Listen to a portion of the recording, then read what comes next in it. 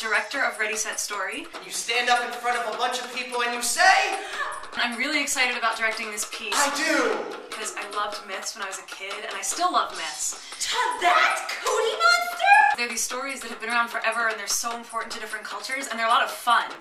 The part that kids really like the most about the show is that they're part of our show. The kids get to participate.